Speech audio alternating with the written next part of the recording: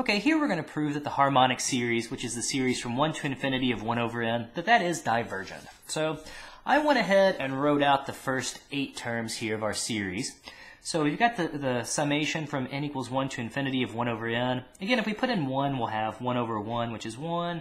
Then we'll plug in 2, we'll get 1 over 2. We'll plug in 3, we'll get 1 over 3, etc. And we just start adding those up.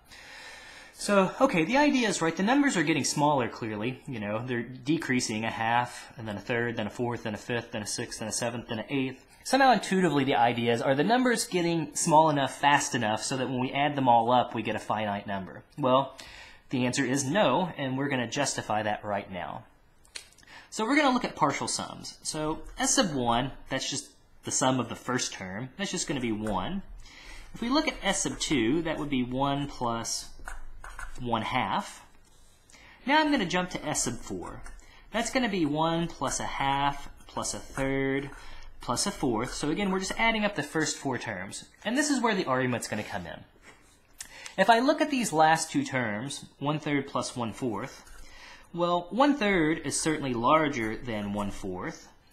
Um, so if I add these two terms together, 1 third plus 1 fourth, it's going to be larger than a fourth plus a fourth, which is 1 half. So the argument is these last two terms are going to be bigger than 1 half. So that means s sub 4, the sum of these first four terms, that's going to be larger than 1 plus well, there's my half that I had originally. And it's going to be, we said these last two terms are larger than 1 half. And I'm going to simplify this a little bit. So there's my 1. A half plus a half, okay, you could write that um, as 1. But I'm going to write that as 2 over 2 just so we can start spotting, spotting a pattern, hopefully. Okay, now we're going to do the same thing, but now we're going to go out to the first 8 terms. So we've got 1 plus a half plus a third plus a fourth plus a fifth plus 1 over 6 plus 1 over 7 plus 1 over 8. We're just going to make the exact same argument. Okay, so we said we already argued that 1 third plus 1 fourth, that's bigger than a half. Well, if you look at the uh, last four terms, notice that's also going to be larger than 1 half because 1 fifth is greater than 1 eighth, 1 sixth is greater than 1 eighth, 1 over 7 is greater than 1 over 8.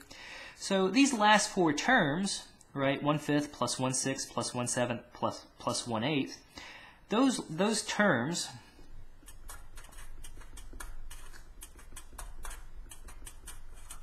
right, those are going to be larger than 1 over 8 plus 1 over 8 plus 1 over 8 plus 1 over 8, and that gives you 4 over 8, or 1 half.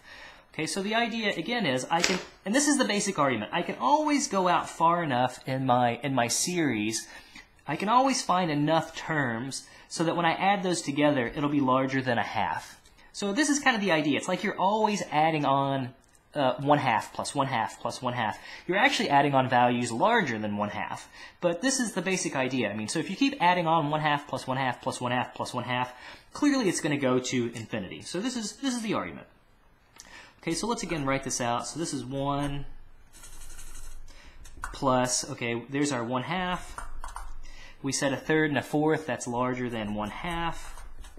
And these last four terms are also larger than 1 half. So again, I've got my greater than there.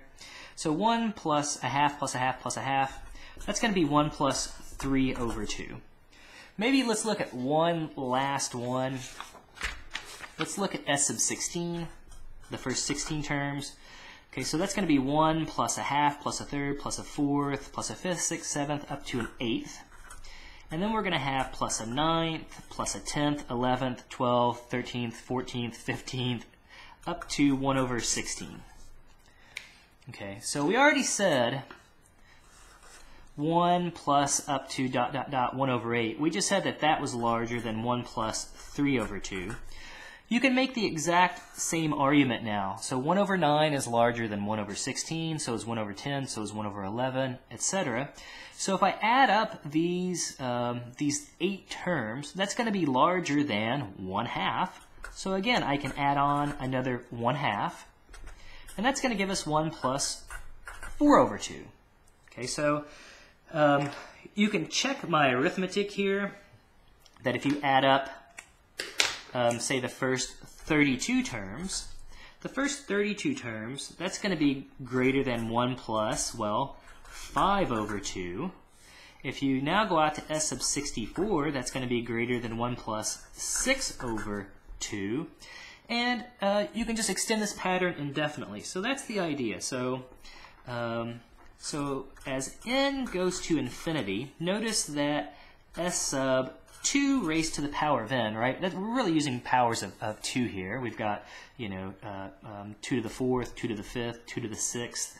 That's always going to be greater than 1 plus n over 2. So that shows that um, this sequence, this partial sum, s sub 2 raised to the n, is also going to approach infinity. And that tells us that the harmonic series, therefore, diverges. So that's it. That's that's the argument. Um, so maybe a little long-winded here, but again, this is the basic idea. You can always go out. You can always add on enough terms so that you get something that's larger than one half, and that's what we're justifying here. So that's it. That's the proof. I hope it makes some sense. And um, again, you know, Uh, I know series drive a lot of people crazy, but to me, this is probably one of my my favorite subjects in all of calculus. It's really neat stuff what you can do with it.